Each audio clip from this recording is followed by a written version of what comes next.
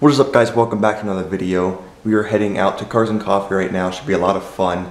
You guys killed it with the amount of views and likes on the first Cars and Coffee, so I said why not just do another one. So if you do enjoy this video, give it a like and enjoy the montage of cars.